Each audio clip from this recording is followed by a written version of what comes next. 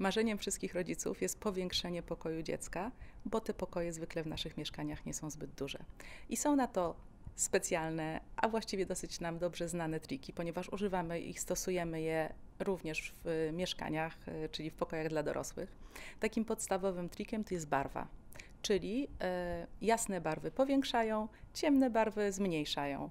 I to jest, to jest też coś, co kobiety, e, o czym kobiety doskonale wiedzą, e, wybierając ubrania. W związku z tym, jeśli pomalujemy pokój na biały, to on będzie się wydawał większy, a jeśli pomalujemy, pomalujemy go na ciemno, to będzie wydawał się mniejszy. Co powinno się znaleźć w pokoju dziecięcym? To zależy, w jakim wieku jest dziecko bo e, powinniśmy zdać sobie sprawę, że jeżeli urządzamy pokój dla niemowlęcia, dla takiego noworodka, to tak naprawdę urządzamy go troszeczkę dla siebie, bo to my przez pierwsze kilka miesięcy tam w pewnym sensie będziemy mieszkać. A dla dziecka e, przygotowujemy detale, czyli przygotowujemy jakieś plamy kolorystyczne, elementy, które ono słyszy, czyli pozytywki, ale to my potrzebujemy wygodnego e, stołu, na którym będziemy przewijać dziecko, albo e, łóżeczka, które będzie stało e, blisko naszego łóżka.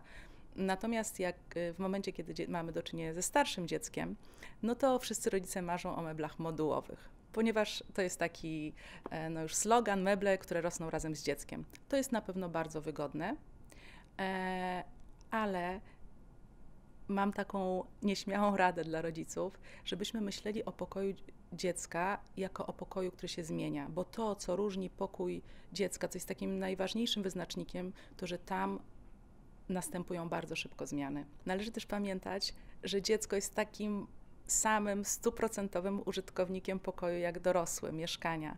I e, to ono w pewnym sensie powinno decydować, to z jego perspektywy powinniśmy patrzeć na pokój. Psychologowie zalecają na przykład, żeby e, dla dziecka poniżej, w momencie kiedy urządzamy pokój dla dziecka poniżej roku, przejść się po tym pomieszczeniu na czworaka, żeby spojrzeć na pokój z perspektywy dziecka.